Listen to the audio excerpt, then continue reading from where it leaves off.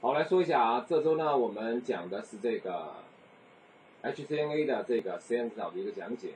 那么这个实验指导呢是我们自己写的，那么参考了一些官方的实验指导，但是我们做了一些优化，把这个 HCNA 正常课里面的一些实验都给大家在这个实验指导里面做了一遍。然后呢，为了能够满足大家能够用虚拟机，因为我觉得大家可能不一定都有真机啊，所以说呢。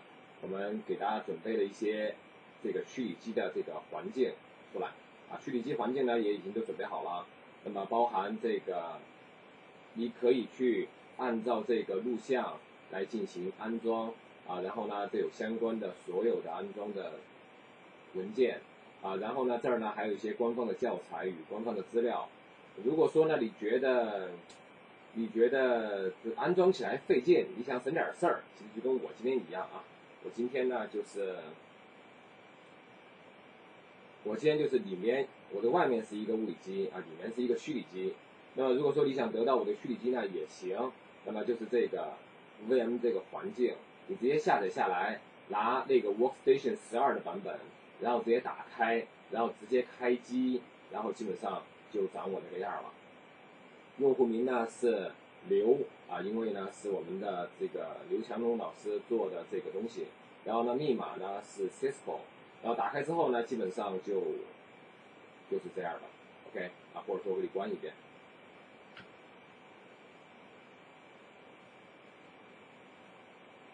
打开之后基本上应该说呢这就是一个空的机器，当然呢你也可以按照刘强东老师的视频介绍在你本机来装。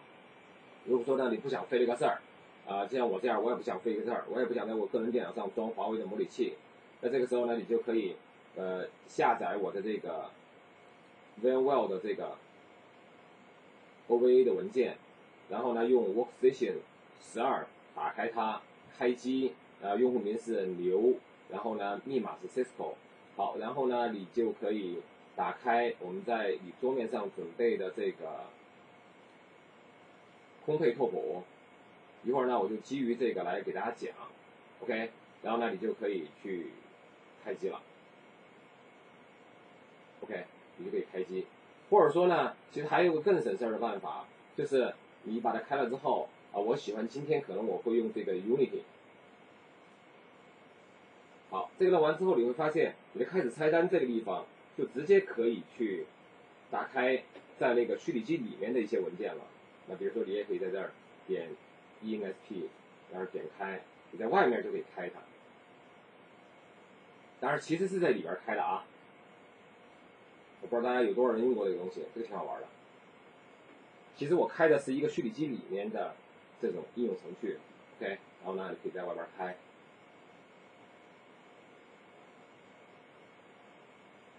啊，这是一会儿呢，我会给大家介绍这个拓扑，我这里简单说一下啊。这些资料我们可以找商务去得到，OK，啊，就是这个，你可以最出色、最简单的就是它，当然它有点大啊，十三个 G，那么下载下来，你拿你的机器打开就可以了。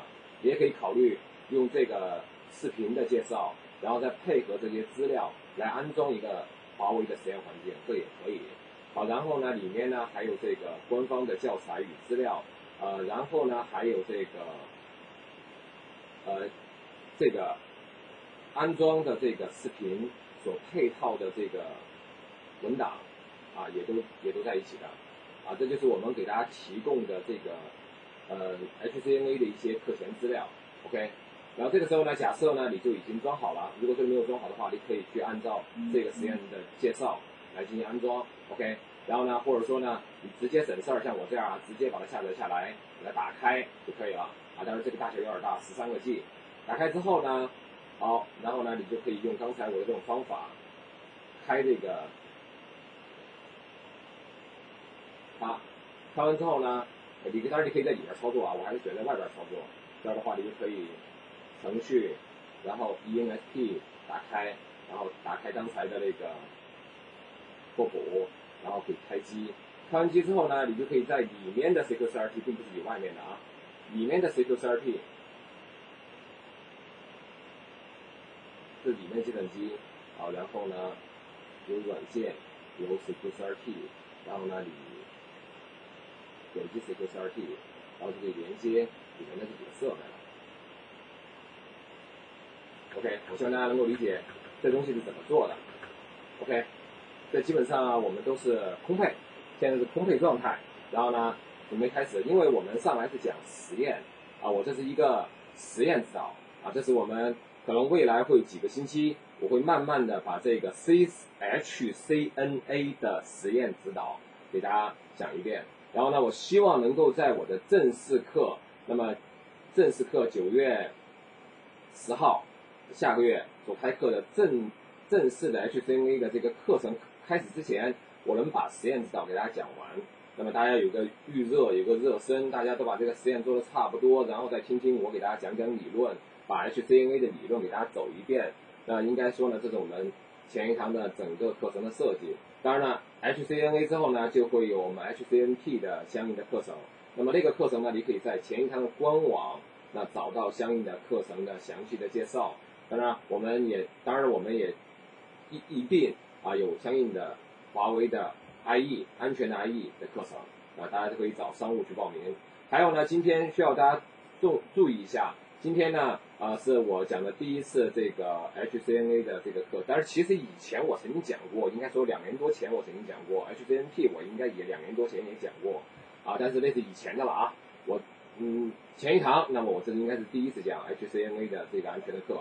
那么第一天呢，应该有促销啊，然后呢，你们一定要等到最后。我的课呢，应该今天今天刚第一次讲，应该会不长，我应该会在十一点半左右结束。然后呢，我会把这个事儿呢交给我们的商务，商务给大家做一个活动，然后应该会给大家抽奖，然后第一天报名会有一定的优惠。然后呢，具体的这个促销的一些细节、价格，我希望你能够找到这个群里面的啊，或者说就在这个里面的商务。然后找他聊一些具体的报名的一些细节，OK，请注意啊，十一点半我应该就会结束。今天第一次课我们讲的少一些，主要留给商务能够给大家做一些呃一些活动，OK，我给大家来热个身，开始啊。好了，那么该说的呢我也说完了，然后呢这个蓄力机呢基本上也起来了，那么我的我也连进去了。好，我来说一下啊，这是我们的实验环境。具体实验环境呢，我们有专门的这个录像来介绍这个蓄力机是怎么安装，这个实验拓扑怎么搭建的。OK，当然了，我这个呢是在一个实验拓扑已经搭建完的环境下来开始介绍我们的实验指导。OK，这是我们的实验指导。那么当然了，也会大家如果感兴趣，也可以去找商务去购买相应的书啊。这是我们的专门做的。前一堂自己做的 HCNA 的实验指导，有些实验呢确实是能够通过华为的 ENSP 来做，有些确实没有办法的话，我们会用真机来做。OK，那么为了满足大家能够做实验，我能够尽量的用虚拟机做啊，至少今天我讲的应该都是用虚拟机做的。到后来确实虚拟机做不了，我会切换到真机，用真机来给大家演示。至少今天没有必要用真机的。OK。好，然后呢，我们做这个实验呢，首先来看一下这个实验的简单的拓扑。我们可以看一个拓扑。那么由于是 HCNA，所以说拓扑设计的还是比较简单的。那么这是一个华为的 USG 的下一代防火墙啊，当然呢是序化的版本。那后面呢，我们会拿真机来做。啊，并不是我，可能大家听过我以前讲过华为的一些课，那应该都是拿的它的老一代防火墙。那这一次呢，拿它的新的六 K 系列的这个全新的这种防火墙来介绍的。这是一个序列化的，啊，应该说呢，这是一个序列化的防火墙。嗯，大部分啊，百分之六七十的实验其实都可以在这个序列化里面来做，大部分实验都可以做。啊，所以呢，有很好的环境啊，大家可以呃用我们的环境来做做实验。OK，我们来看一下啊，这个环境呢有，首先呢有两个区域，一个是 untrust 区域，一个是 trust 区域，啊，当然呢网管也位于这个 trust 区域。那好，其实呢，如果说你是学基于区域防火墙起家的，比如说你曾经以前做过 Let's Green 防火墙，做过 Juniper 防火墙，做过深思网科防火墙，做过 Palo Alto 防火墙。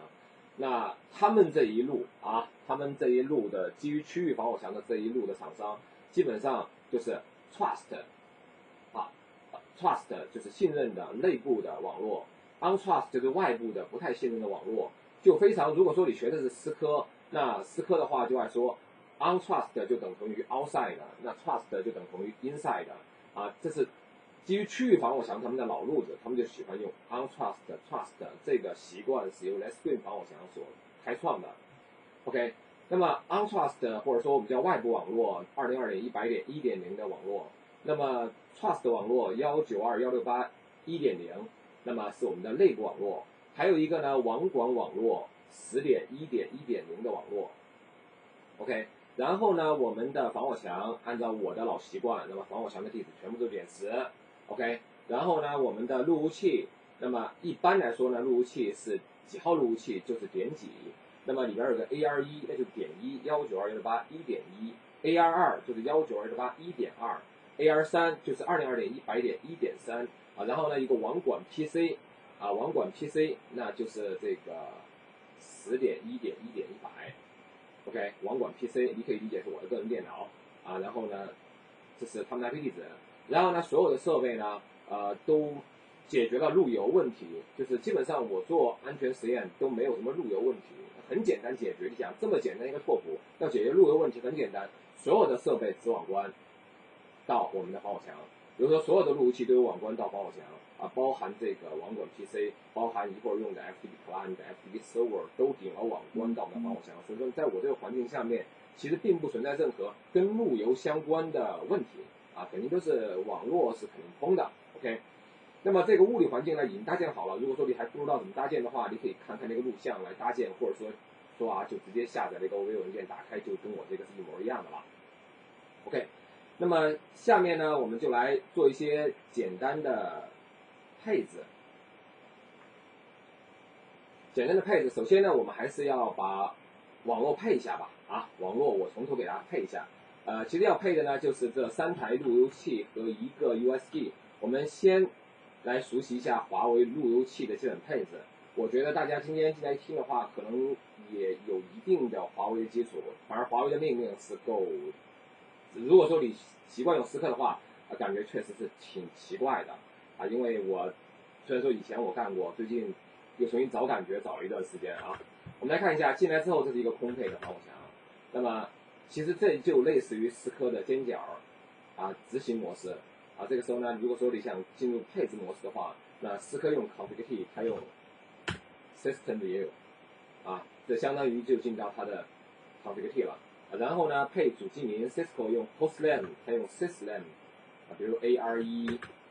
好，紧接着呢，你就可以，我们可以看一下它的这个 running config，当然了，它叫叫做，呃，思科所有用 show 的地方，它都用 display，思科是 running config，它是 current config。好，请注意，这是一个路由器，并不是防火墙啊。我先要把路由器的基本配置配了。好，这就是它的基本配置，这个配置看起来还算是正常吧？啊，好，然后呢，紧接着你要做的呢，就是给它配。然后它的 G 零杠零呢，给它配 IP 地址，幺九二幺六八点一点一，这个差不多。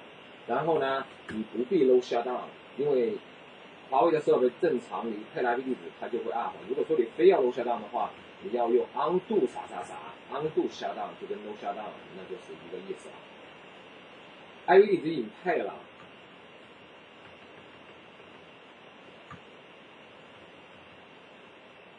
开了，然后呢，我们配一下路由，我们配一下默认路由。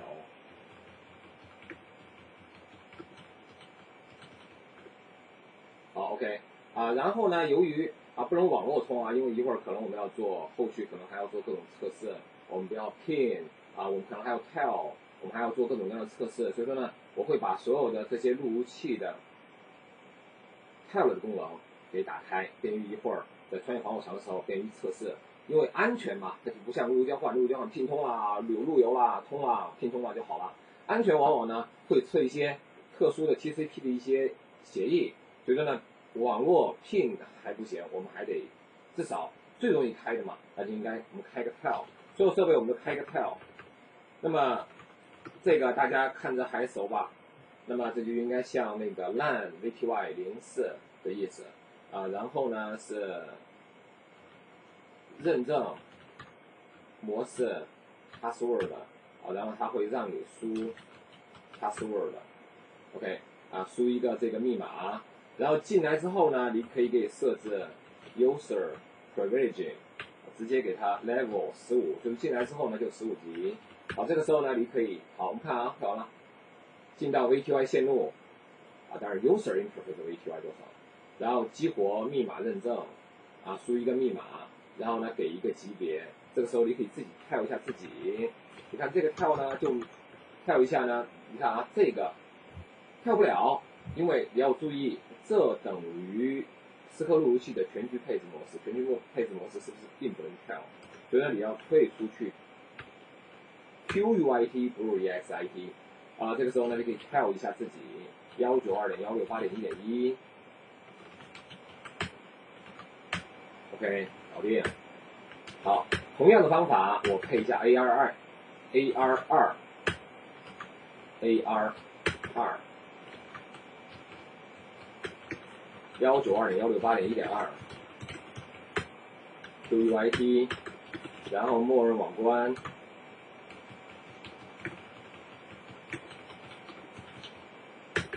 然后 User。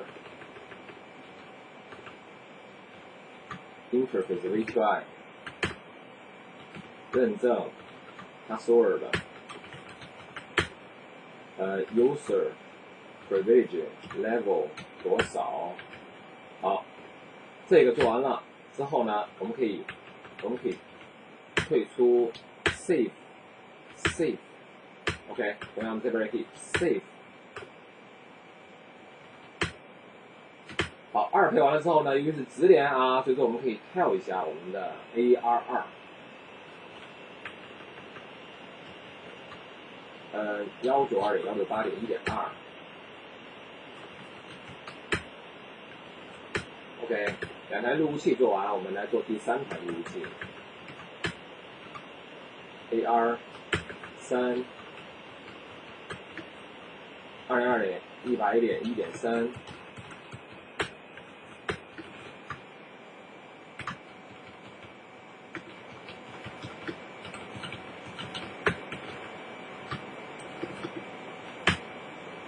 认证，password，user，privilege，level，给一个 level，然后呢，你可以先存一下盘。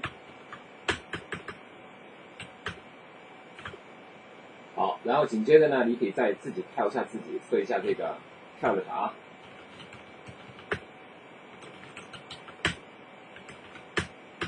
好，这搞定，我们也可以 display current 来看一下。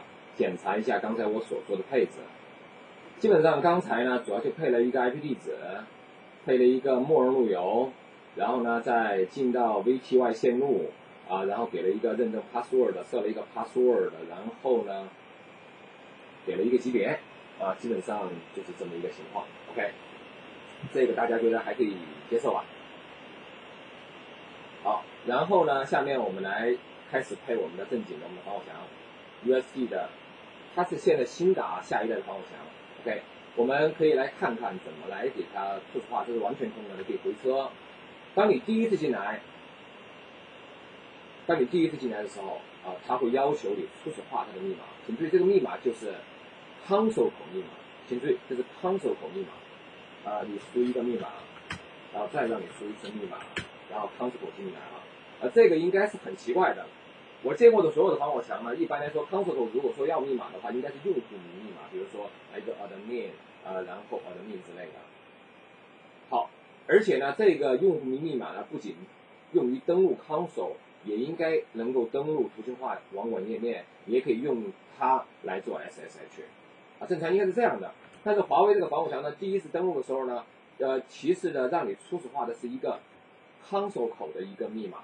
啊，就只是一个 console 口的密码啊，就跟那个四颗 LAN console 零下面那个 password 的那个作用是一样的，并不是让你输的一个用户名密码，而且 more 呢是没有密码的，让你自己去输两遍来初始化这个 console 口的密码。好，这就是第一个问题。进到 console 之后呢，你先进到它的 system view，然后呢 display current config，你可以看一下我们的这个墙的默认配置。其实你主要关心一下什么东西呢？你主要关心一下这些当这些这么多接口当中有一个接口是有配置的，其实这就是传说中的网管口，它的第一个口，即零杠零杠零，可以看一下是 no shutdown 的，然后是有 IP 地址的，而且所有的网管都被允许的，而且这个绑定的 VPN 实例，可能有些人可能我第一次学华为的时候我觉得 VPN 实例是啥呢？啊，VPN，VPN。啊，这个真够有意思，上来怎么就 VPN 了呢？啊，其实并不是，这个呢，其实就非常类似于思科的 VRF，VRF。那么它绑定到这个 default，那其实你可以理解它是一个一个 VRF 啊，主要是用来做一个隔离的作用。其他的呢，一会儿呢会到另外一个 VRF，这是一个叫 default VRF。这样的话，就可以把网管网络和这个正常的数据层面转发的这些接口的网络。进行有效的隔离，所以呢，这是一种路由隔离技术，类似于思科的 VRF。OK，那一会儿呢，这些普通接口的 VRF 跟它的 VRF 是不一样的，这样的话就有效的实现了那么数据层面的这些流量和网管流量的这个有效的隔离。所以说呢，你要认为这是一个 VF，啊，这是一个路由表、路由隔离，No shutdown，IP 地址允许了各种各样、各种各样的网管协议。OK，好了，那么。下面我们再看一下，至少在我这儿设计来看，那么我们当然如果说此时你在这个接口接根网线，把你的笔记本插到上面去，然后你设一个幺九二幺六八零点几，然后就可以去网管我们的防火墙了，就跟那些家用的一些路由器，那么开始的时候几乎是一样的。但是这个地址呢，并没有满足我们的设计啊，我们的设计呢，这个网管口呢，G 零杠零呢。应该是十点一点一点十，那这个时候呢，我们就需要去对它进行一些修改。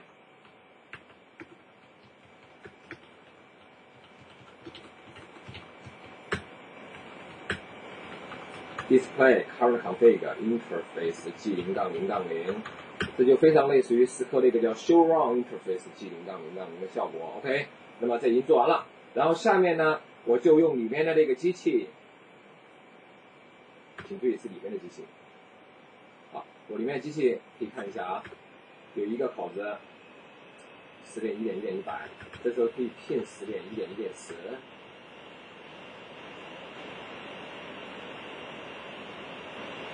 好，这就已经通了啊，就已经拼通了。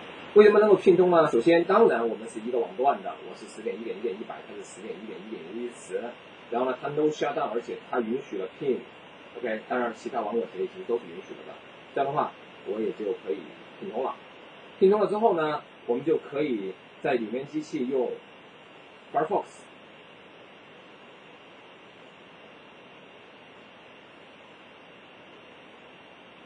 用 Firefox。然后怎么网管呢？我们可以聊一聊啊。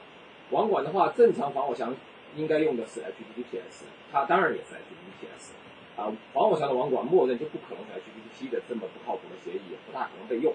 十点一点一点十，关键点呢，它并不是回车，回车是多少呢？应该是 TCP 的四百四十三号端口，它用的并不是标准的四百四十三，而是八四四三。有些人说用其他的浏览器行吗？其他的浏览器肯定是有兼容性问题的。嗯，虽然说我今天可能想吐槽一下华为防火墙，但是这个并不是我的槽点啊。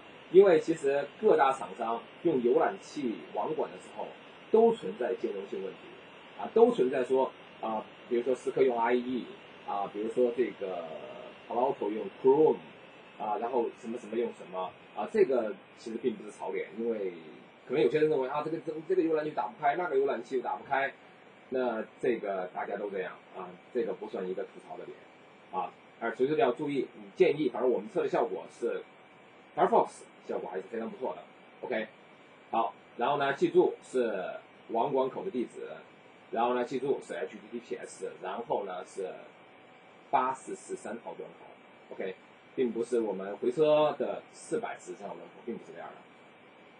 好，然后记住，现在呢你开始输用户名 admin，密码是个啥呢？密码是个叫做 admin at 一二三的这么一个玩意儿。admin at 一二三。admin at 一二三。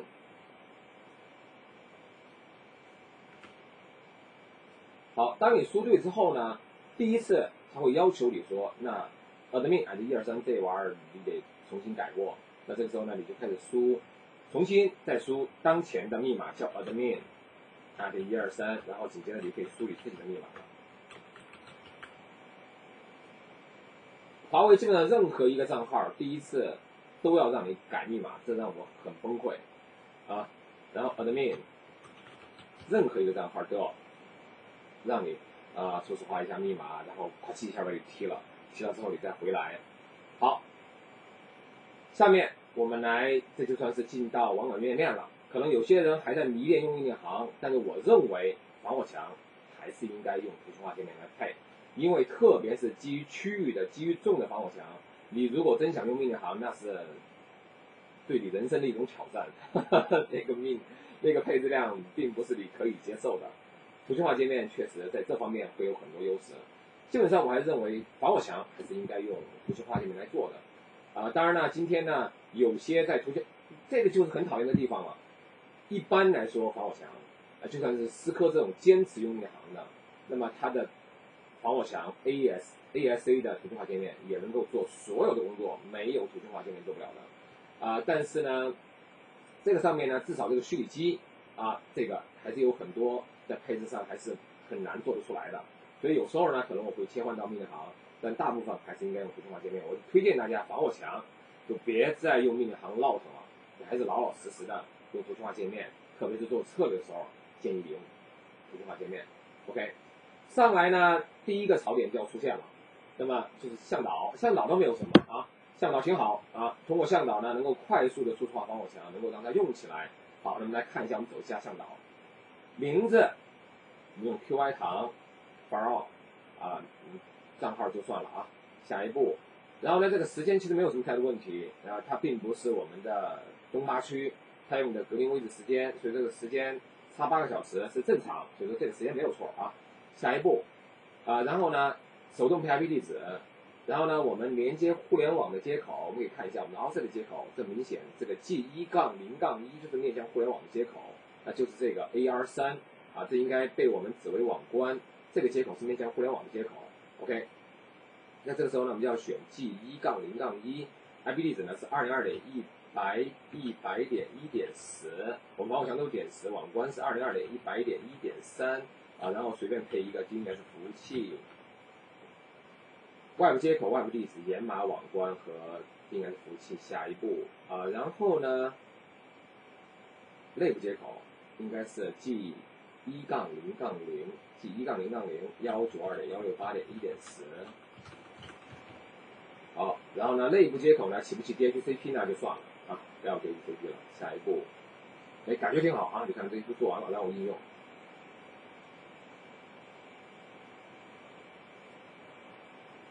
其实今天呢，我的槽点还是挺多的，我们可以看一下啊。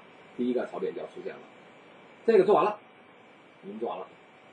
第一个槽点是什么呢？向导配置的默认策略，我们可以看一下这默认策略。那默认策略是什么呢？通过向导做的啊，可不是我做的啊。默认策略是什么？可以看一下安全策略。默认策略是原是任何，目的的任何，去往任何，任何应用，任何服务允许。我的天，这是台路由器，告诉大家，华华为路由器已经配置完了，USG 华为路由器已经配置完毕。然后全网已经通了，然后想怎么通怎么通，这简直是一个非常悲催的一件事情啊！这个时候确实啊，想怎么通怎么通，啊，一个直连也可以听得通，啊，拼一下直连吧。开始之前可拼不通啊，就是刚才你看我也没有试过，呃，拼一下里面幺九二幺六八零一点一二，好，然后呢里面拼外面。里面跳外面，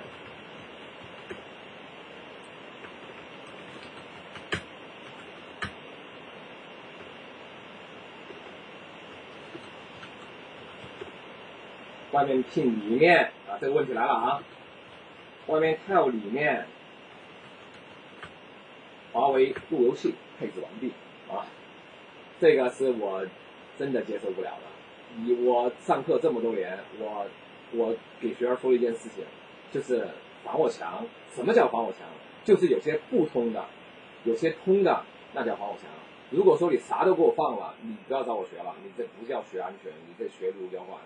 啊，这个你说这个防火墙，如果说让客户不明真相的客户上来就这么注册化完了之后全网通了，你觉得他买的是防火墙吗？这是一个让人费解的一个过程。OK，然后下面呢，很明显我是完全接受不了这个现实的。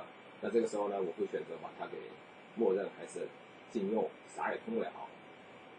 OK，好，这个 OK，好，禁用了之后呢？问题又来了。如果说你用禁用，啊，禁用了之后，那啥啥都不通，啥啥都不通吧？按理说正常，我对防火墙的理解，那这些路由器骗防火墙骗不通，那是正常的。防火墙本来就应该，本来就应该骗不通。你想想啊，现在都到什么时代了？你你的个人电脑，你的 Win 七，你的 Win 十，难道默认可以被别人平通吗？当然拼不通，对吧？这是非常正常的。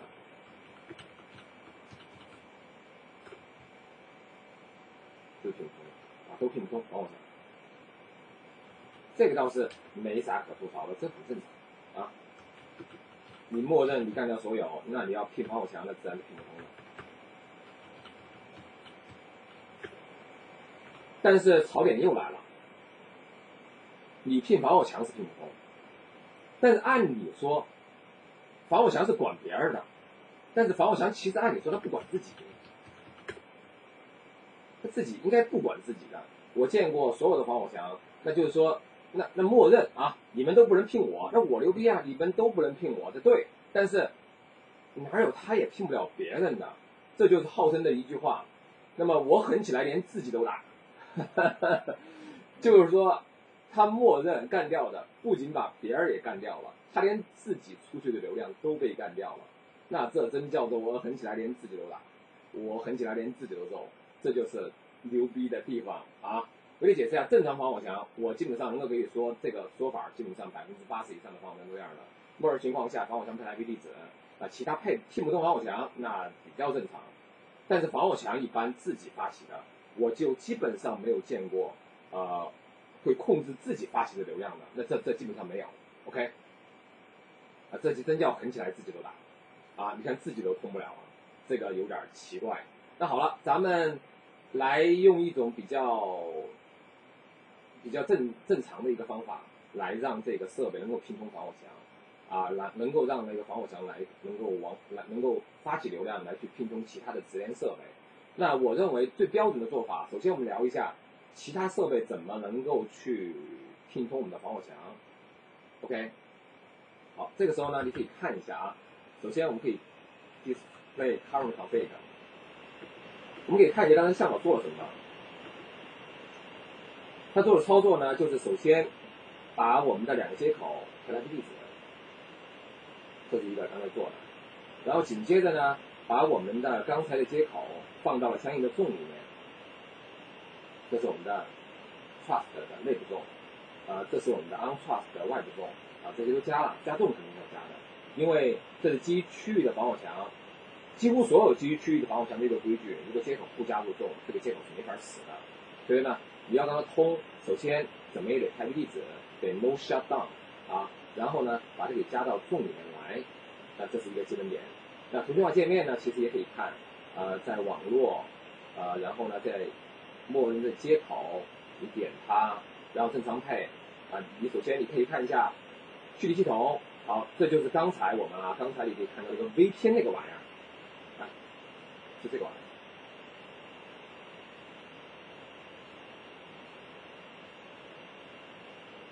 就这个。你看啊，这个 VPN 叫 default，VPN 实力是 default，当然你可以认为 VIF 实力为 default。然后你可以看一下这些接口 Vf 为 public，那很明显就已经路由隔离了。刚才不是说过这个问题吗？你看啊，它默认 public 已经默认隔离了。好，然后呢，它要加到一个 zone，创建一个 zone。加啊，不叫创建一个纵，叫加了一个纵里面去，然后给它配 IP 地址，啊，这应该就是刚才所做的一些操作，OK。当然了，应该也配了一些路由，有一条默认路由也做了，这应该是刚才向导给我们做的一些操作，我们可以看一下默认路由。这应该是我们向导所做的。当然了，你用图形化界面去配这个接口地址，用图形化界面来把它加到 zone 都可以，用命令行加也可以。我觉得这里你应该看到了，我觉得觉得大家应该没有什么问题，可以把它加好。那下面我们聊的呢，就是怎么能够让这些设备能够拼通防火墙，这可能是一个需求啊。当然打开可能会有一定安全问题，当然这一般来说是一个需求。那怎么办呢？几乎所有的基于重的墙都是这个套路。那你到接口级别，然后呢，你往下翻，这个时候启用访问管理，允许一下 PIN，啊，这个接口就可以被 PIN 了。允许一下 SSH，这个接口就可以被 SSH。允许一下 Telnet，那这个接口就可以被 Telnet。同样的，这几个接口都可以考虑打开，当然请注意，考虑打开是有安全隐患的。OK，我只是给你介绍一下是可以打开的，但我并不是说我在这儿推荐大家要把它打开，因为为什么咱们就不允许骗因为这样的话可以让我防火墙在网络当中透明啊，当然更不能够，其实更不应该被 tell 和 SSH，因为网管应该是由专门的网管网络，就是这个 G 零杠零这个网络来做的，而不应该用这种这种带类网管的方式，这特别是 tell 其实是非常不安全的。OK。那么我只是给你介绍一下这种激活的方式而已，只是上课而已，OK。好，这个做完了之后呢，你应该就可以去看到，其实这应该就可以拼得通了。拼得通了，R 也是拼幺九二点幺六八点一点一四它的网关啊，它的我们的防火墙，外面的 AR 三我们拼二零二点一百点一点一四。好，这个就算是拼通，OK，但是倒霉的他还是在揍自己啊！他现在不管你怎么弄，他要拼出去还是拼不，这个很神奇，很奇怪啊！其实呢，我知道怎么回事儿，但是我觉得几乎我见过的所有防火墙，防火墙自身发起的流量其实应该是允许的，这是完全可以的啊！但是华为默认。就是这样啊，就是没有激活。那想让我们的防火墙访问别人吗？那可以啊，新建一个策略，那叫 local zone 到 any。什么来说一下什么叫 local zone？其实各大厂商都会有类似的这种思科的防火墙，一叫 self zone。当然了，这词儿不一样，有些叫 local，有些叫 self，self 自己 self 啊，就是说呢。我们不仅能够控制这个接口之间的流量，我们同样可以控制 self 我们自己发起的流量，啊，这也依然是可以的。我们 self 发起流量也可以被控制的。OK，那这个时候你想控制吗？那就要我们要放过我们 self 我们自己这个 zone，啊，然后呢去往这个时候我们去往任何的 zone，啊，就是我自己发起的自己发起的流量为 local 为其他厂商可能会有 self。啊，然后到任何的啊，然后呢，当然你可以限制原目地址，可以限制服务，这个时候我们还是允许，这个我觉得还是应该要允许的。本地去往任何这种的流量是允许的，OK。那这个时候你放了之后呢，我们也可以看一下配置，呃，display card config，你可以看一下配置。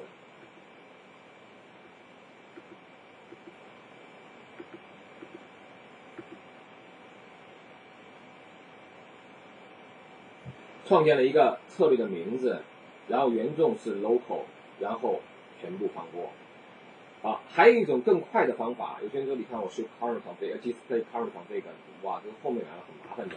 你可以这样，你直接进到 security policy，可能这个下面以后会很多，你直接 display this，啊，这应该算是还算不错的一个东西。OK，当然这个技术呢，我记得我很多年前见到第一次这种技术的时候，应该在。Junos 里面，Juniper 的防火墙里面，第一次见到这个东西，OK，啊，就是任何东西都可以去，你先进去，然后可以选择 Display this，OK，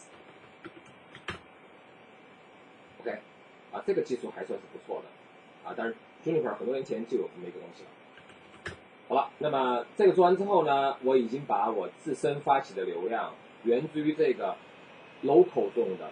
那到任何的都放过了，那这个时候呢，我就应该可以聘用他们。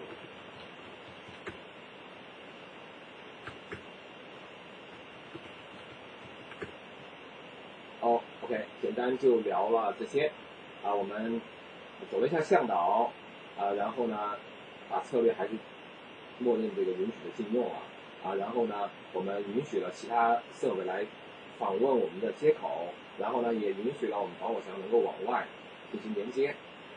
OK，然后呢，我们再回到界面，又一个吐槽点到了。当我第一次进来的时候，我发现，哎，这这这这怎么了？这个，这这个怎么灰的呢？我见到这种灰的界面，让我人生很郁闷。我觉得这是，哎，虚拟机，虚拟机的问题，这是 bug，系统坏了。可能我第一个反应是这样的。但我给你解释一下这个搞笑的现象是怎么样的。我从来没有见过这样的。啊。这个搞笑的现象是，你看啊，设备状态图，你看这是不是设备状态图？它已经在你这儿显示了，所以说呢，这儿就灰了。你想它亮吗？好，亮。它在这儿，它在这个中间这个地方不显示了，它就那边亮了。然后你点一下它，它只要回来了，应该它跑到后面去了吧？你看，它回来了，它又，它那儿又灰了。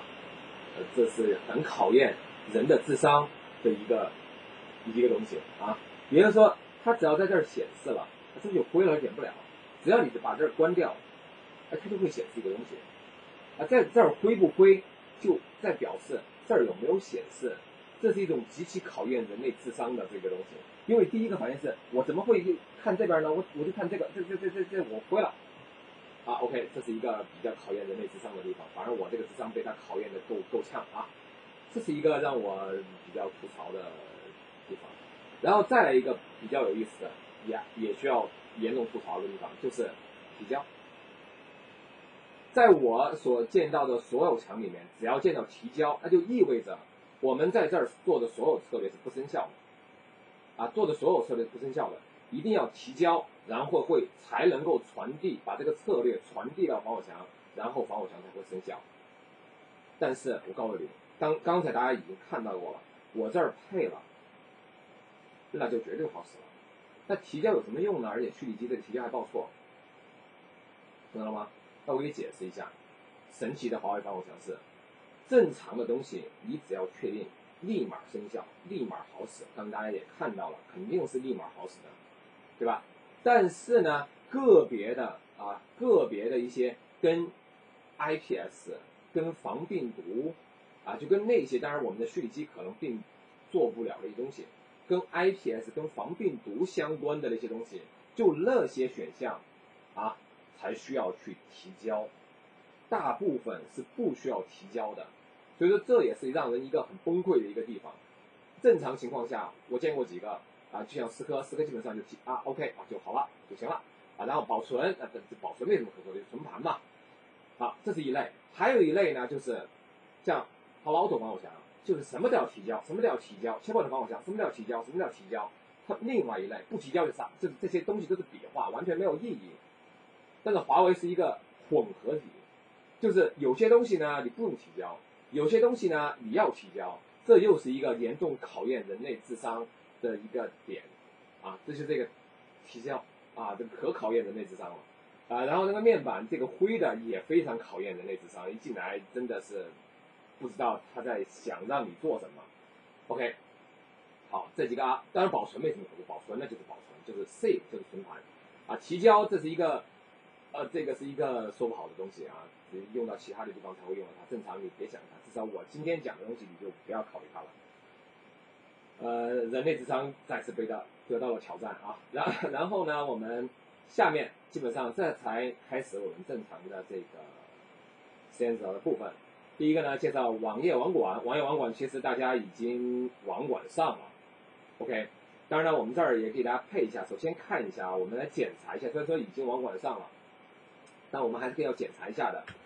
我们首先呢，还是要检查一下我们的专门的这个网管口，然后它确实是打开来去去检测网管的，啊，这是一个。然后呢，它确实也是被加到了重里面的。确实也加到重里面去了。OK，好，这是一个。然后 Web Manager 就是网管，这个应该是打开的，我们可以看看啊。Current 这个也支持一个硬的这个东西。Include Web 啊，这也打开了，而且 TLS 这个这个算法挺对。所谓的 SSL VPN，我经常说，所谓的 SSL VPN 其实大部分都不是 SSL 的。虽然说啊，所谓的 HTTPS、HTTP over SSL，其实大部分也不是 SSL 的。那么大部分其实应该用的 TLS 这个工业工业的标准。啊，SSL 其实是网景公司的一个私有协议。啊，OK，这个协议也指定了，然后这也激活了。啊，然后呢，地址也配了，HTTPS 也允许了，接口加到重了。啊，所以说呢，我们就可以用倒霉的八四四三号端口就可以网管了。OK，好，这基本上没问题。下面呢，我们可以考虑一下说，那网管咱们已经进来了，下面我们又来聊一个问题，怎么创建一个用户网管用户？好，这个时候呢，我们再回到图形化界面，啊，命令行你可以简单看一下啊，命令行我们下面有展示。命令行是你到 A A A，然后呢到 Manager User 啊起用户名，然后起密码，然后这个用户服务类型是网页登录，然后 Level 多少？图形化界面。呃，我们可以看一下，首先要了解一下，首先这个用户吧，你的对象这个地方能看到用户，啊这儿可以创建用户，然后呢在这个系统这个地方其实也有用户，但是不一样，是管理员。啊，这是一个很正常的一个归类，啊，呃，就是这些用户呢，应该是用于创建用户认证的，啊，用于 VPN 的等等的用户。这个系统这儿呢是管理员，就是管理用户，OK，这是管理用户，OK。那这个时候呢，我们可以在这儿就创建一个网管用户，比如叫 Web User，本地认证，当然可以支持 Radios 这些东西，我们后面还会介绍。然后呢，设一个密码。你可以看一下，在初始化的时候我已经确认过密码，确认过，已经确认过。然后呢是系统管理员，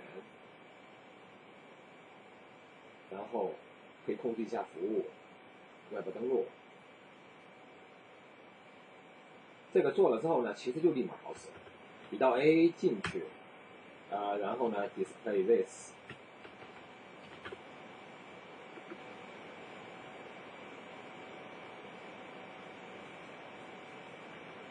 好，这个时候呢，我们应该可以试试看。注销出来会给你报一个让人不知所措的一个报错，别管它，抓一下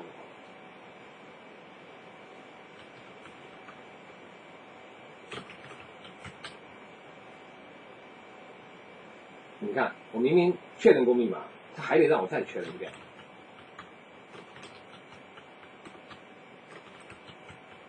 而且还要把你踢下去，还得再输一遍，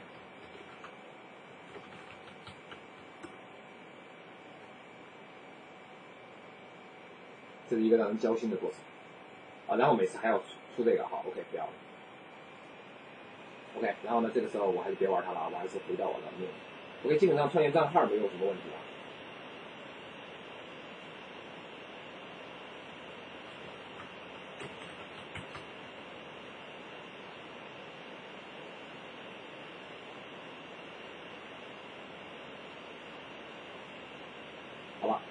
这个用户创建，Web 用户创建，网管，没有什么太多问题吧？这个时候呢，我们继续，我们来做一下 TELT 的登录。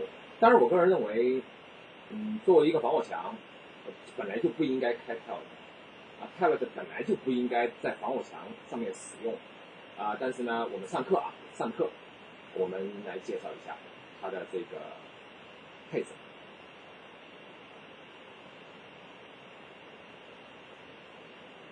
虽然说呢有很多吐槽的地方，但是呢，这个这是一个过程嘛，对吧？当然了，我应该也算是见过确实特别多的防火墙，我见过确实特别好的防火墙，然后所以说觉得确实有些差距啊。当然了，当然了，它的槽点确实有点多啊。我们再继续聊，呃，下面呢我们来看看 Tel，那怎么能够激活 Tel 的呢？你可以看一下。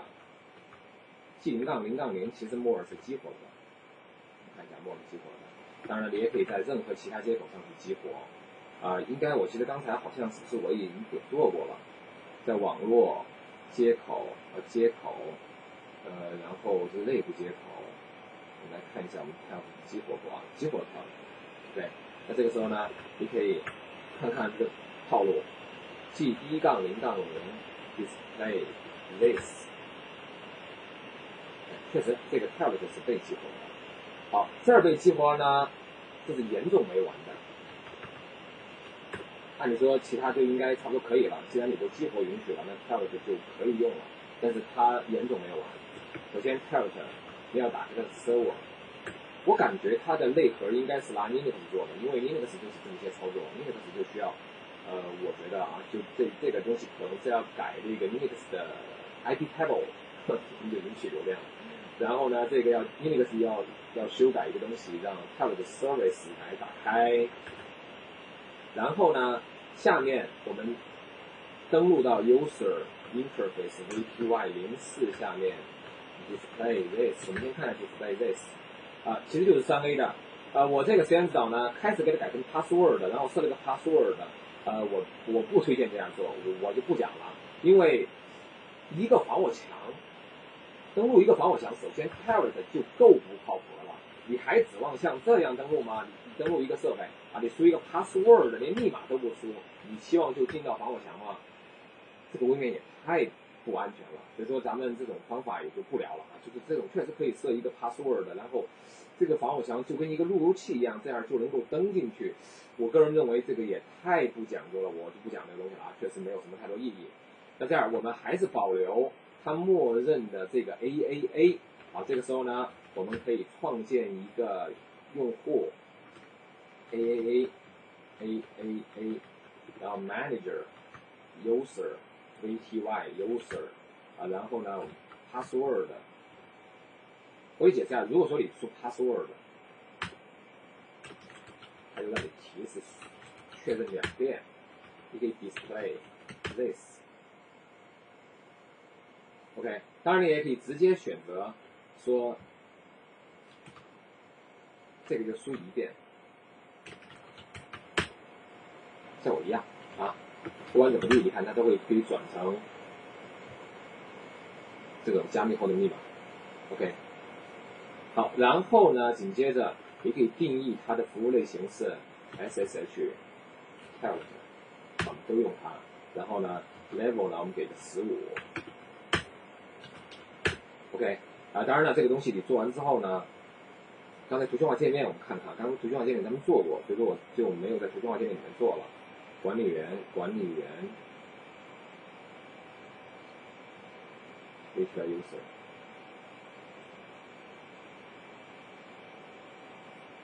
OK，可以提到优势。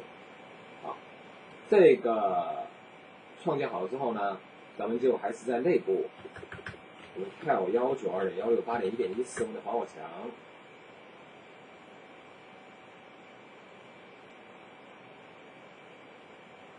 哦，有一个东西没配，刚才我略过了太多了。啊，什么东西没配呢？我们可以看一下，继续到这个。User Interface VTY 零四下面 Display this，呃，默认的这个协议只允许了 SSH，就跟思科在 VTY 下面那个 Transport Input SSH 一样，啊，这个还是比较讲究的，就是默认只允许 SSH，并不允许 Tail，Tail 确实不靠谱。那这个时候呢，我们还是这样啊，因为没有允许 Tail，那这个时候呢，我们可以来个 All 吧，SSH Tail 都允许。啊这时候差不多了，VTY user，好，你看啊，所有的、所有的、所有的，不管你圈过多少遍，第一次登录一定要让改密码，人生是很崩溃的。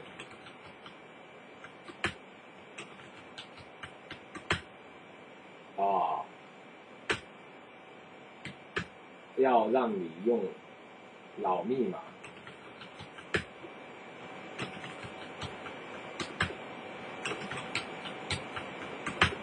基本上每一次我都得差不多输个七八遍，才能够进得去。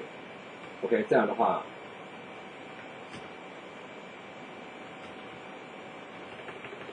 好，就是再总结一遍啊，你非要 tel 的话，接口级别要允许跳了，跳了 server 要打开，VTY 跳了要允许，呃，然后呢，创建一个用户能够支持 Tails，给他一个十五级，给他一个密码，基本上就可以登录了，默认就是 A A 的。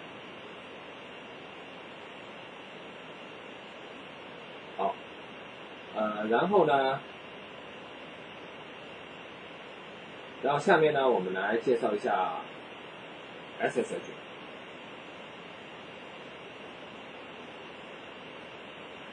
好，这个时候呢，我们来看一下 SSH 有一个问题。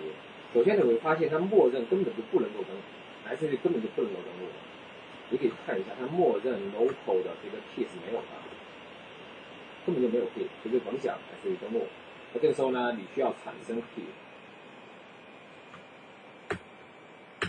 果断的二零四八啊，二零四八是一个比较推荐的一个词，有一定的安全强度。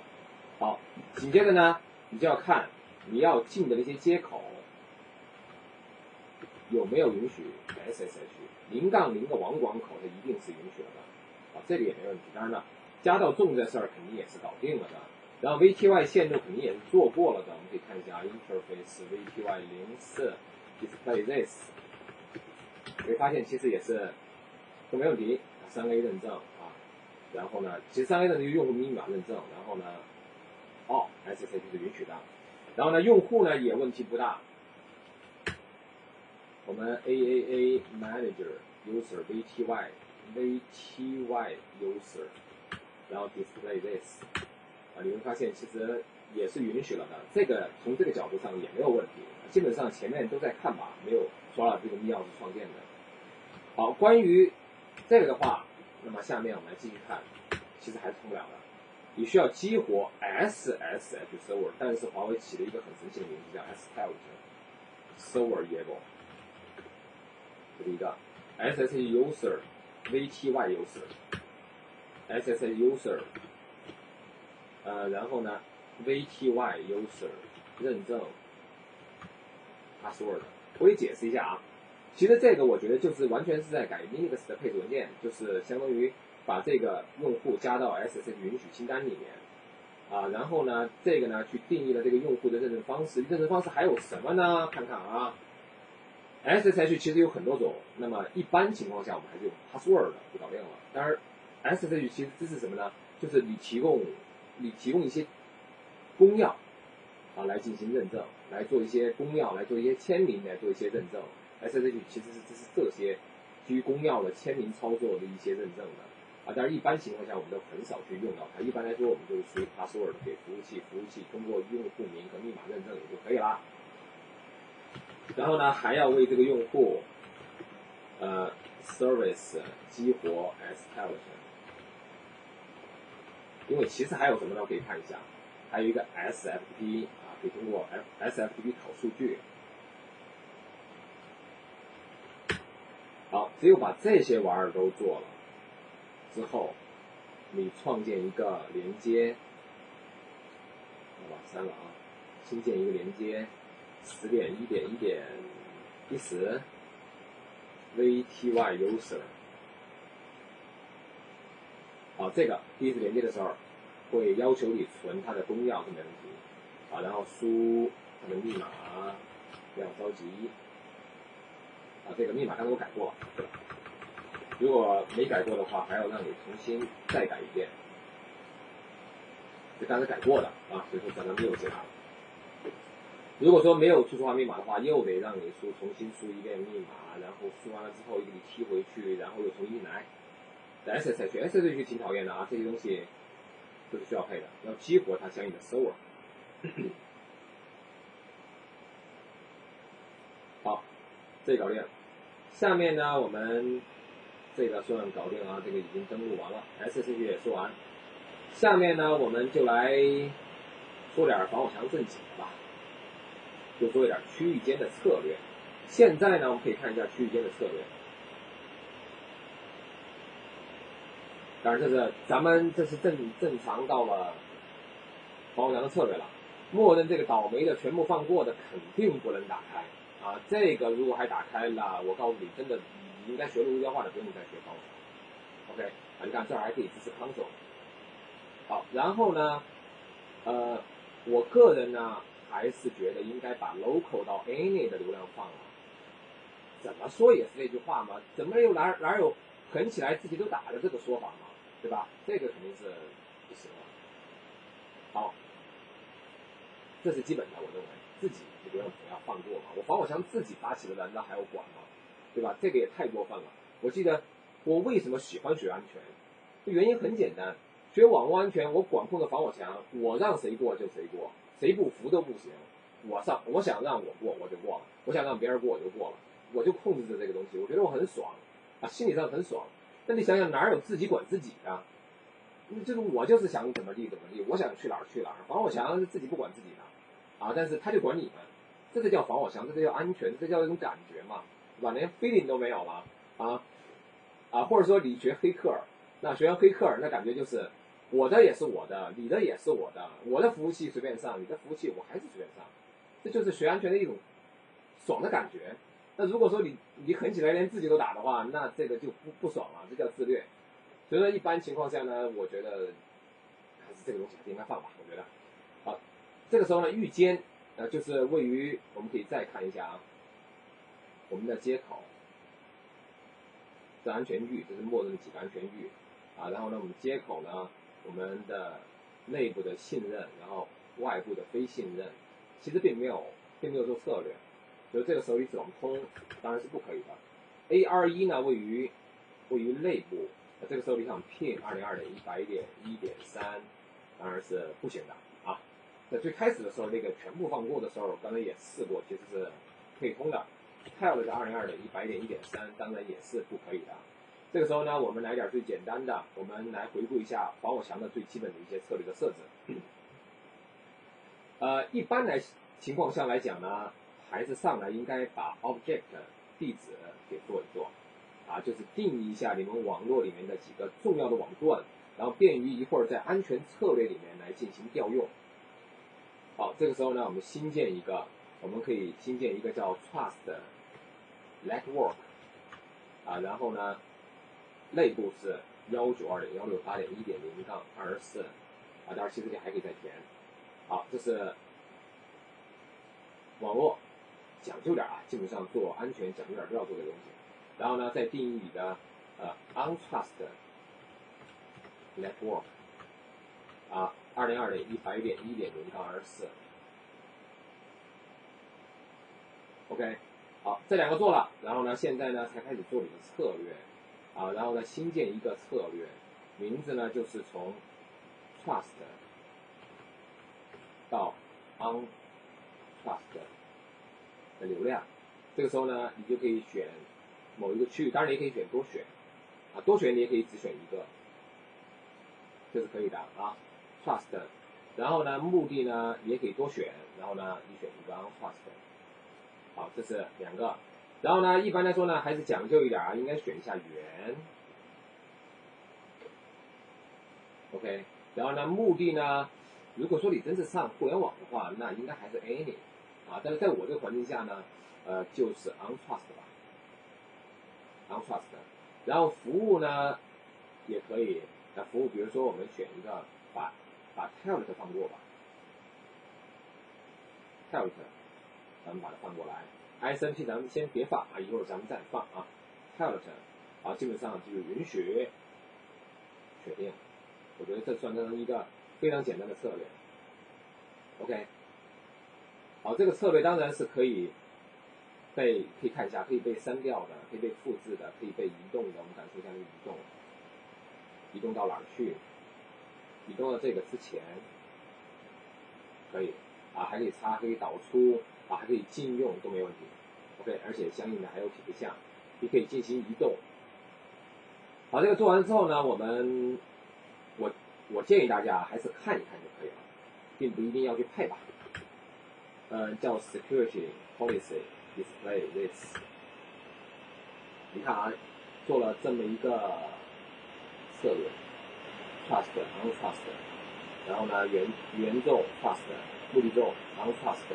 原网络 trust network，目的地址 untrust network，然后服务 target action permit，这是一个策略。然后这是刚才我自身发起的然后放过的策略。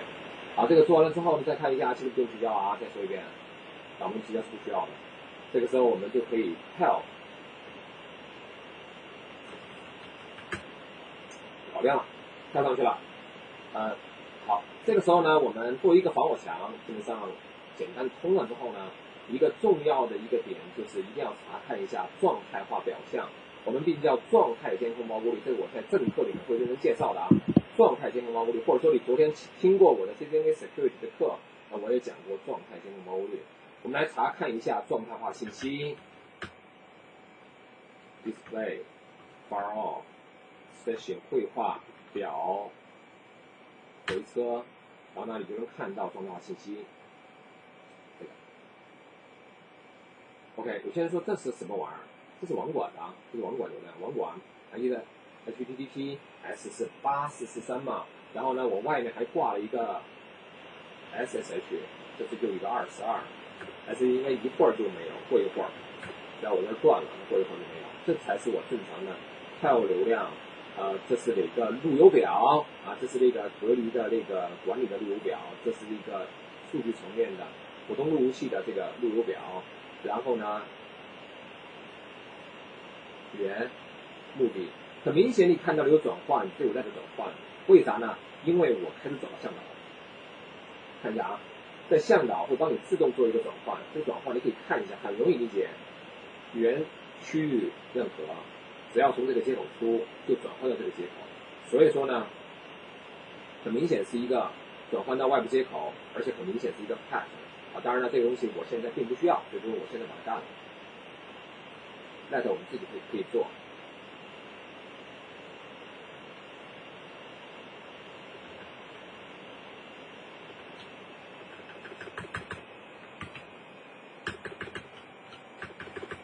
哎，这卡在这儿了。这儿我们这个是 t e l e t o n 二零二零一百点一点四三，这我们可以看一下。哎，这应该就没有转换了。OK，好，那这就是一个简单，但是 pin 就拼不通了啊。pin 二零二点一百点一点三，拼不通，想拼通吗？继续放策略。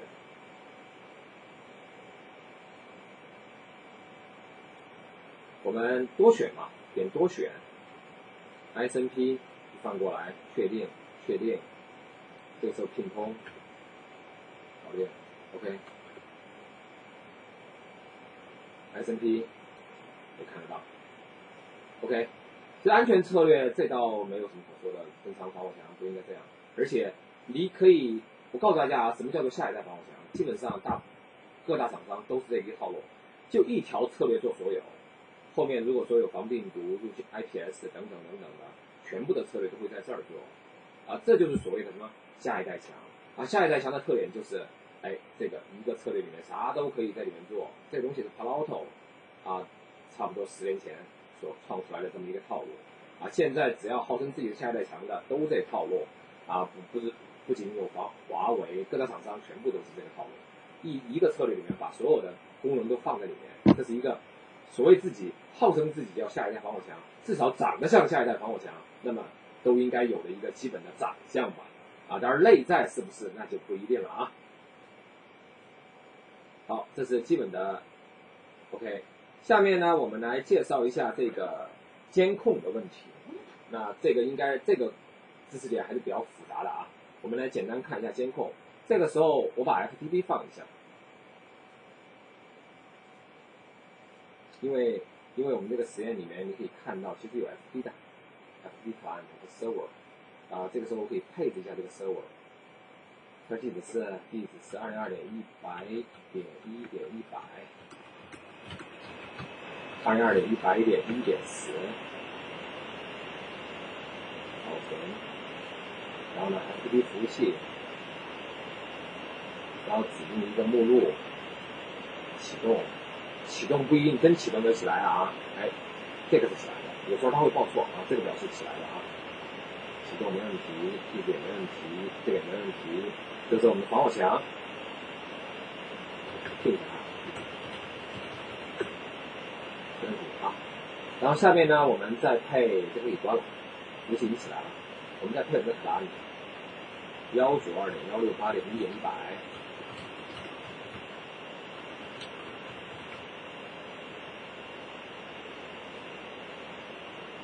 呃，我们这样，我们还是听一下幺九二零幺六八零一点一百，没问题。好，这个时候呢，你要指望说能够连过去，倒真不太可能，因为防火墙是没有放侧的，这个时候把侧的再放一下。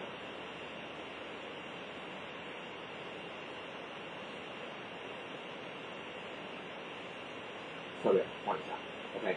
那这个时候呢，我们可以看一下，其实应该解决可以通了，二零二点一百点一点一百，OK，分出，分出，好，我来给大家讲一下，我点这个玩意儿是干嘛的，然后我再给你讲为什么它能通，啊，这是叫做防那个 FTP 的两种模式，这是它的 passive 模式，这是它的 active 模式。那么当然，默认我们的防火墙是激活了 FTP 的监控的，应用层监控，你看啊，这些都没有写，默认就把 FTP 给激活了。我们可以看一下，它默认是激活的，当然，一会儿关掉就肯定通不了了。我们来简单说一下它的应用层监控的这个作用，嗯，display，啊，可以，然后。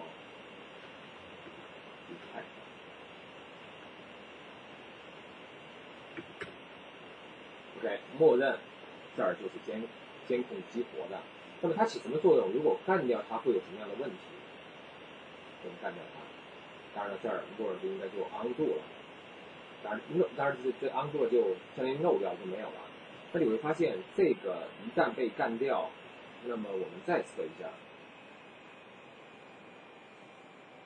再测一下，登出，会发现 port 我们登录。这好像就有问题了，是吧？然后呢，你在防火墙上看看，会报一个错，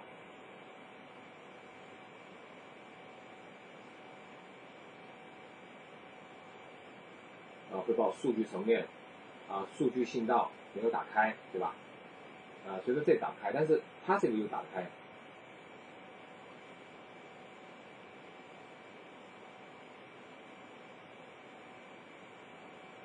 哦，passive 应该也打不开，因为我只是放了一个 FTP 出去，现在应该没有打得开的。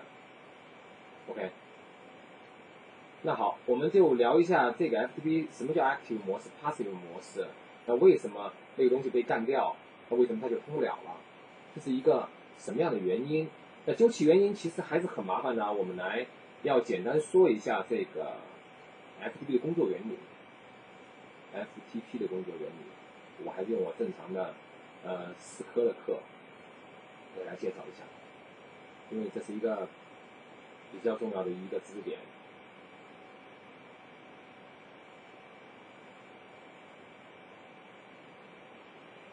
FTP，我们来讲一下，简单讲一下 FTP 啊，FTP，FTP，FTP，简单说一下啊。FTP 首先是一个主流的传输协议，啊，数据传输协议。有两个信道，有两个模式，啊，第一信道、第二信道、控制信道、数据信道有两个模式，active 模式、passive 模式。那这个时候呢，它叫做一个经典的动态应用。所以说呢，我们防火墙不监控它是通不了的。那好，我们来介绍一下它为什么它叫动态应用，它是怎么工作的。FTP 是一个非常经典的。我觉得你如果说你想在安全这一块混，几个经典协议工作原理一定要特别熟，像 FTP、像 HTTP、像 SMTP，我觉得你必须要特别熟，否则你真的不是搞安全的。啊，我们来看一下 Active 模式，它的这个工作原理。那么首先呢，你你客户去连服务器的时候，第一个会话一定是原端口随机，目的端口二十一号端口，二十一号端口。这就是我们放行的这个始发流量。我们看一下，我们放过这个始发流量的。我们状态监控包过滤的防火墙只需要去放行始发流量，也就是 FTP TCP 二十一 TCP 二十一啊，这个放过就可以了。始发流量过去，那么返回的 S1 ACK 包合理的 ACK 包肯定没有问题的。三次握手可以被建立。三次握手一旦被建立了之后，那这个时候呢，那你要干什么呢？但是我的干这个之后呢，可能你就登录到这个服务器。到了服务器，你可能第一个任务就是说，我想罗列这个服务器的清单啊，服务器没有什么东西，我可能要感兴趣。那这个时候呢，你就要发一个 pod 命令，这样我再给你来一个抓包。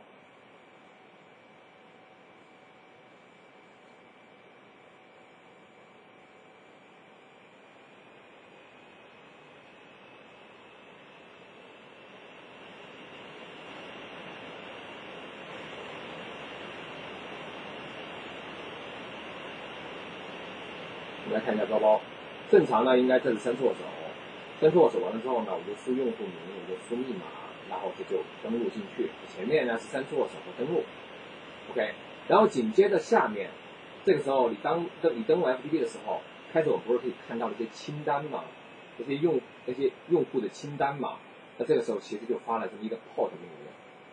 其实这其实我给它画图啊，就是任何只要是这个服务器。这是我们的 client，这种的 server。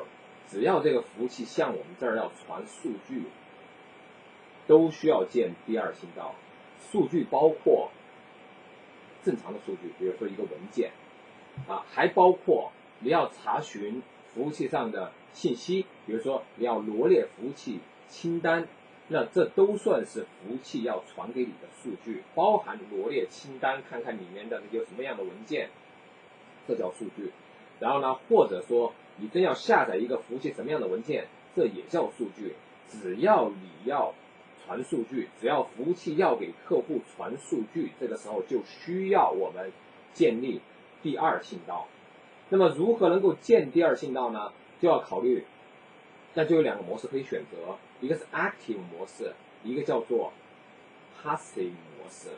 那么何为 active 模式呢？就是第二信道由服务器主动发起的三次握手，那么就叫做 active 模式。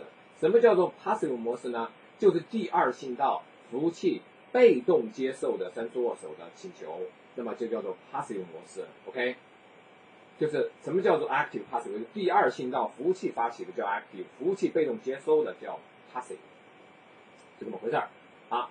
那么有些人可能会问。那正常情况下，我们的使用 FTP 的时候，到底用 active 还是 passive 呢？我给你解释一下。一般情况下是 passive 的。为啥呢？因为你现在市面上能够见到的所有 FTP 服务器都是都支持 active 和 passive 啊。但是呢，那么所以说呢，决定权主要在于你的客户端。我们的客户端默认会主动去尝试 passive 连接。一般情况下，客户端都会尝试 passive 连接，除非你可以去选择。如果说不选择，你就是 passive。一般情况啊，比如说你浏览器拿去做 FTP，或者说你装一些 FTP 的专门的客户端，一般情况都是 passive。OK，active passive 呢，咱们也说完了。那我们来看一下 active 怎么能够建立第二信道呢？active 模式，我们的客户会主动发一个 port 命令。后面跟一二三四五六六个数用用五个逗号分隔，六个数用五个逗号分隔，这在说什么呢？前面四个数表示客户的 IP 地址，后面两个数，第五个数乘以二百五十六加上第六个数是端口号。为啥要给端口号呢？因为我们的 client 要告诉服务器。不是 active 吗？第二信道不是你来吗？那不是我等你吗？那我告诉你我在哪儿等你？我在幺三七点七八点五点五这个地址等你。我在五乘以二百五十六加一百四十一号端口号等你。那好，你来吧。那这个时候服务器就会发起第二信道。原端口，请注意，原端口很神奇，原端口是二十，目的端口就是刚才那个五乘以二百五十六加上第六个数那个端口号。发起三次握手，建立三次握手，建立第二信道，然后在第二信道里面传服务器给客户，这就是 active 模式。简单而言就这样，第二信道这么玩的。好，当然呢，有很多工具啊，你不仅可以研究 FTP 的时候可以抓抓包啊，或者说用一些比较黑客工具 Netcat，甚至呢，你还可以用 Python 来编一个，其实都是一个很有趣的一个过程。好，我们来说一下 passive。passive 这么回事儿，三次握手永远是客户发起的，目的端口永远是二十一号端端口开始的时候，啊，然后呢，这个时候如果一般来说啊，请注意，一般来说我们就是 pass，那么所以说，如果说你的 client 那么默认要求 pass 连接，那么客户会发一个 PASV 的这么一个应用级的请求，好，这个包我们也给大家看看。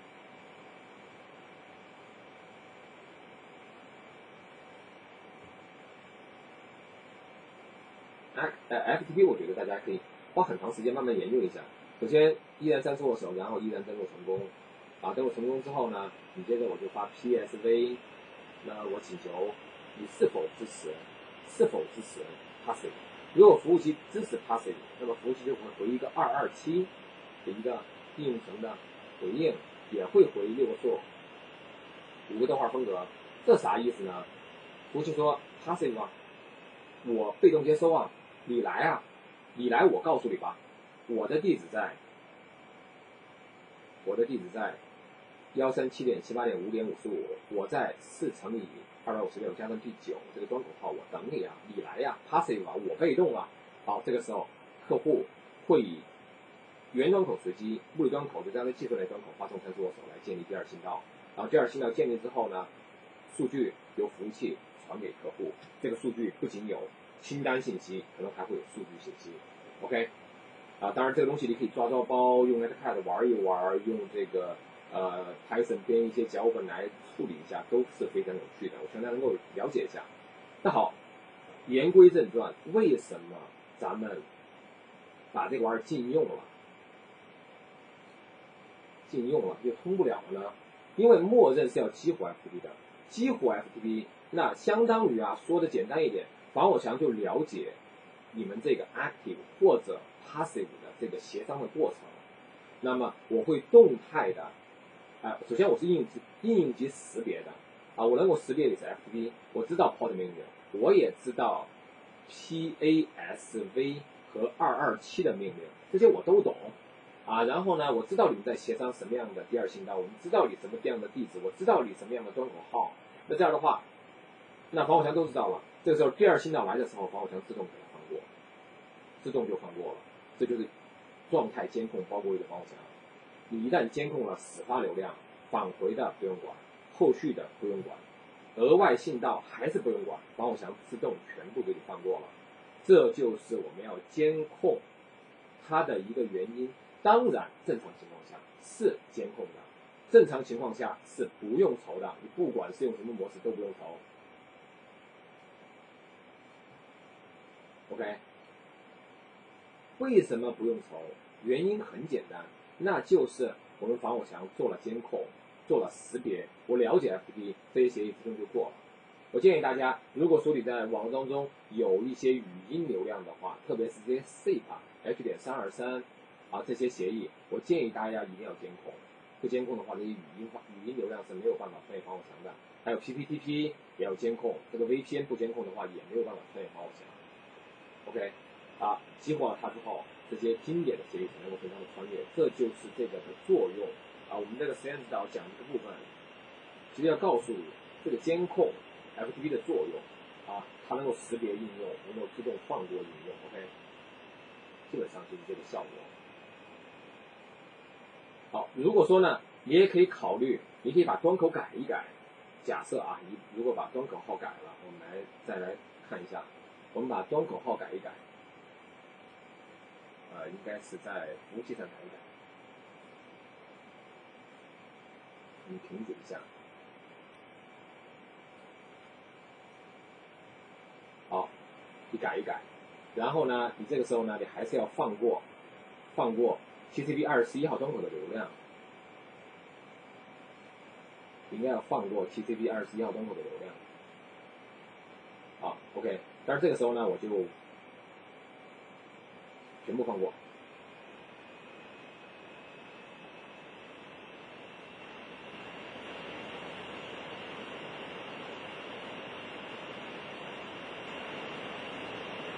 你看啊，现在我流量其实都已经全放了，对吧？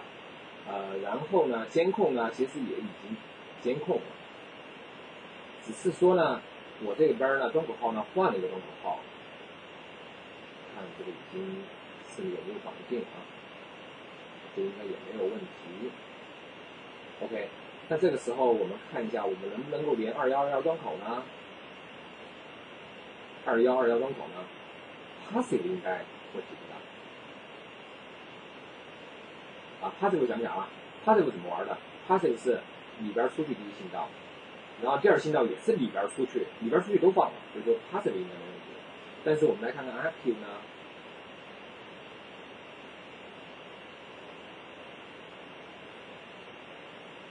？Active 应该就会有问题，你在服务器上看看，它依然建立不了第二信道。的话，应该等会儿才能显示，依然不能够建立第二信道，依然是通不了的。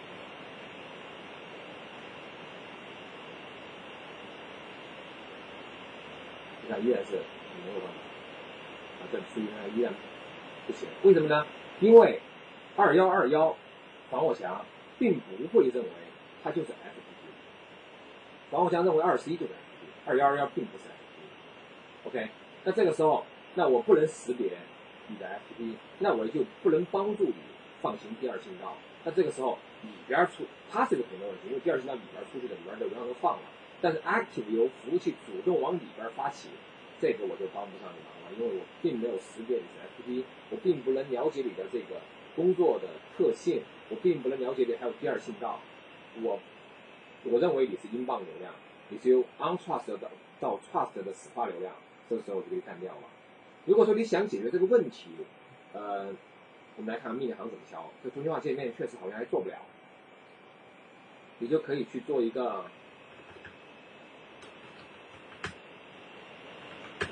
做一个列表。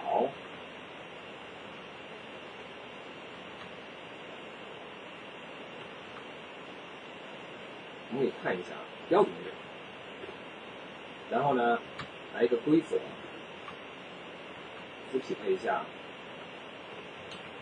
服务器地址，零是 host，host 就是零，host 二零二零一百点一点一百。好，这个时候呢，你指定了服务器地址，然后呢，你用做 formatting，这个命令基本上跟思科都一样，ftp port 二幺二幺 acl。两千，那就告诉这个服务器，位于二零二点一百点一点一百的，它是一个 FTP 服务器，它的工作端口是二幺二幺，请把去往这个服务器的这个端口当做 FTP 来识别，协助他们建立第二信道，协助他们能够通起来。OK，那这个时候你再试试看，刚才 port 不能通了啊，OK，不能通，啊，这就是可以为特定的主机、特定的端口号。让防火墙识别为 FTP，给它做监控、动态放行、额外的信道，基本上就这效果。好，那么咱们今天啊，我我说过，今天我只是开个头，我们我后来基本上每个周末都会找个时间，我给大家能够把这个实验指导都给大家讲一遍，慢慢给大家讲完。OK，现在剩下时间呢，我应该是商务有一个抽奖活动啊，你们可以在群里边可以跟商务进行互动。我今天呢，基本上就讲到这儿。下周基本上差不多时间吧，我们再通知时间。那么我会把这个课程陆陆续续给大家讲完。OK，好，大家，我这儿基本上差不多啊。下周我们再继续。OK，那大家可以参加这个抽奖，看看今天你们有没有好运。